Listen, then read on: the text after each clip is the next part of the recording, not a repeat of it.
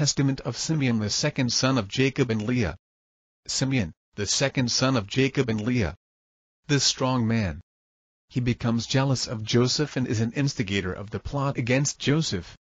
The copy of the words of Simeon, the things which he spake to his sons before he died, in the hundred and twentieth year of his life, at which time Joseph, his brother, died.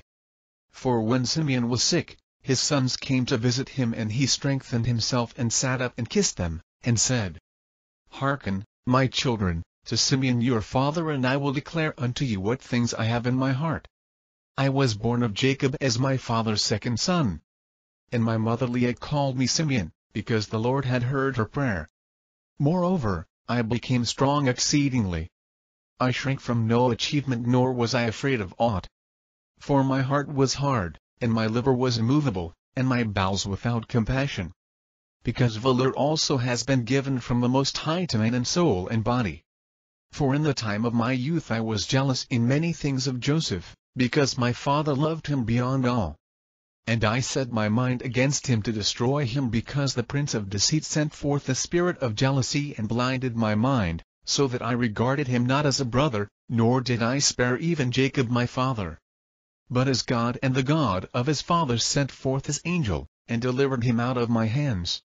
For when I went to Shechem to bring ointment for the flocks, and Reuben to Dothan, where were our necessaries and all our stores, Judah my brother sold him to the Ishmaelites.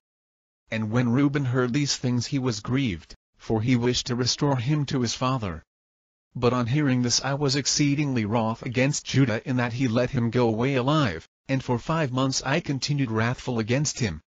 But the Lord restrained me, and withheld from me the power of my hands. For my right hand was half withered for seven days. And I knew, my children, that because of Joseph this had befallen me, and I repented and wept.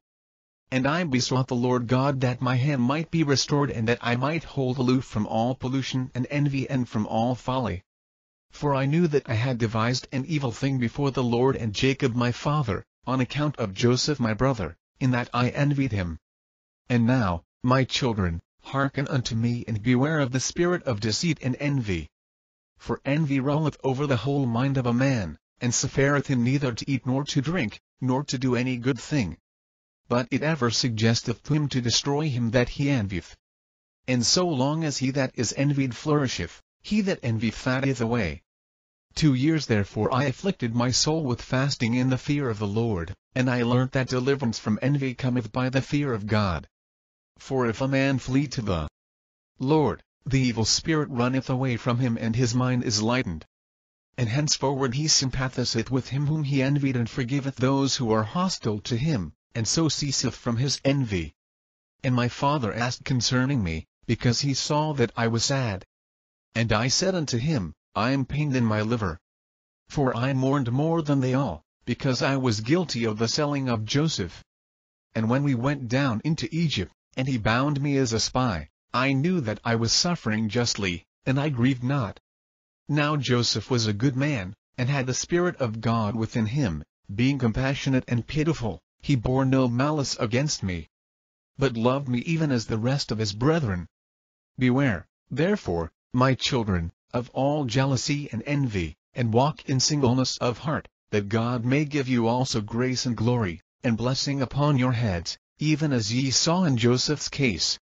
All his days he reproached us not concerning this thing, but loved us as his own soul, and beyond his own sons glorified us, and gave us riches, and cattle and fruits.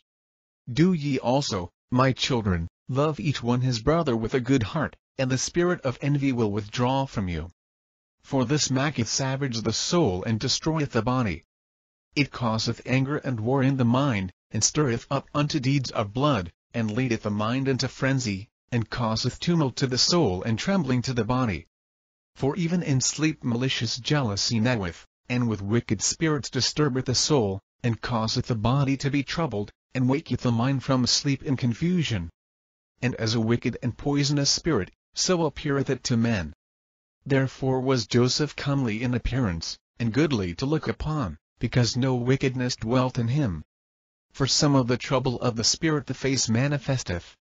And now, my children, make your hearts good before the Lord, and your ways straight before men, and ye shall find grace before the Lord and men.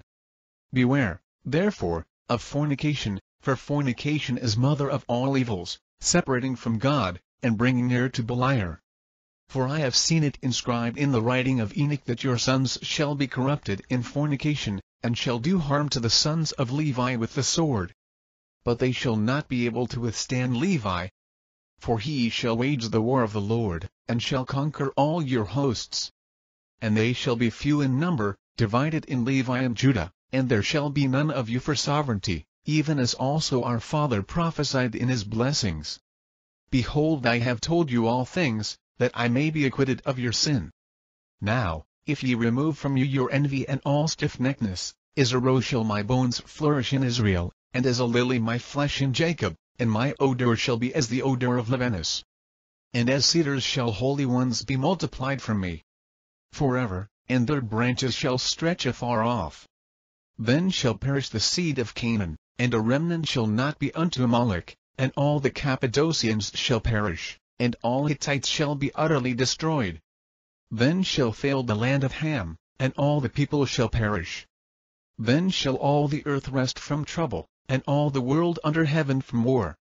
Then the mighty one of Israel shall glorify Shem. For the Lord God shall appear on earth, and himself save men.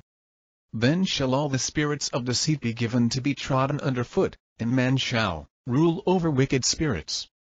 Then shall I arise in joy and will bless the Most High because of his marvelous works, because God hath taken a body and eaten with men and saved men. And now, my children and Judah, and obey Levi and Judah, and be not lifted up against these two tribes, for from them shall arise unto you the salvation of God.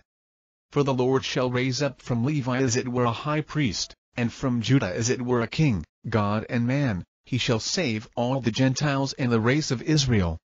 Therefore I give you these commands that ye also may command your children, that they may observe them throughout their generations. And when Simeon had made an end of commanding his sons, he slept with fathers, an hundred and twenty years old. And they laid him in a wooden coffin, to take up his bones to Hebron. And they took them up secretly during a war of the Egyptians. For the bones of Joseph the Egyptians guarded in the tombs of the kings. For the sorcerers told them, that on the departure of the bones of Joseph there should be throughout all the land darkness and gloom, and an exceeding great plague to the Egyptians, so that even with a lamp a man should not recognize his brother. And the sons of Simeon bewailed their father. And they were in Egypt until the day of their departure by the hand of Moses.